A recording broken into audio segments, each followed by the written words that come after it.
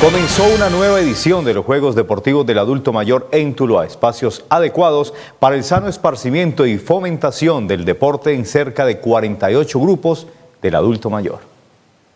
Con un desfile que salió desde el Centro Integral para la Comunidad del Barrio Buenos Aires hasta el Polideportivo del Barrio La Alameda, se dio apertura oficial a los Juegos Deportivos del Adulto Mayor.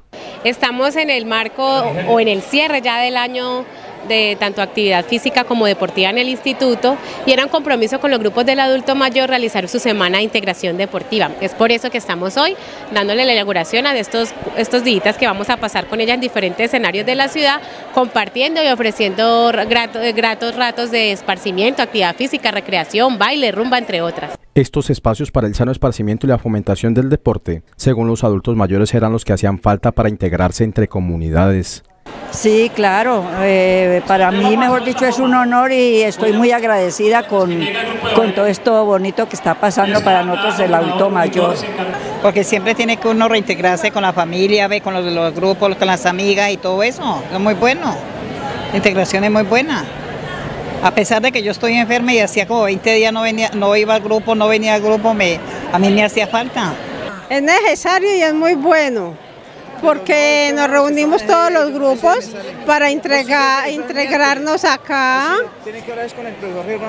Que el alcalde pues quiere que todos los grupos nos reunamos. Durante tres días los adultos mayores de la ciudad vivirán varias competencias deportivas en los escenarios dispuestos por Inder Tuluá.